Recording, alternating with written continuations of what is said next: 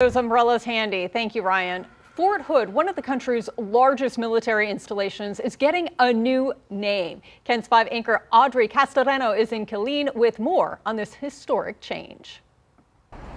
Good afternoon, Nicole. As you can see from the sign that welcomes you onto the Army base today, it was redesignated as Fort Cavazos after General Richard Edward Cavazos. In a ceremony this morning, the Central Texas Post was renamed in honor of the South Texas native. General Cavazos made military history in 1982 when he became the Army's first Hispanic four-star general. A veteran of the Korean and Vietnam Wars, Cavazos served in the Army for 33 years. He died in 2017 and is buried at Sam Houston Cemetery in San Antonio.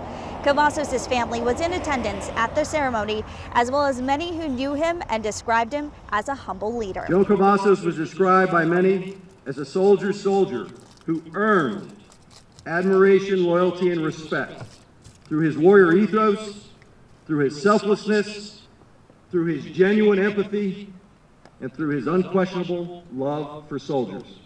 For years, Fort Hood had been named after Lieutenant General John Bell Hood, who was a Confederate leader during the Civil War. Fort Hood, now designated Fort Cavazos, is one of several military bases undergoing a name change after a congressional committee recommended removing Confederate names from military bases as part of the 2021 National Defense Authorization Act. Many of the proposed names were either women, African American, Native American, or as we've seen here today, Latino service members. So a big change today here for this Army base, but many said this is a step in the right direction when it comes to honoring boots on the ground. Reporting from Fort Cavazos, Audrey Castoreno, KENS 5.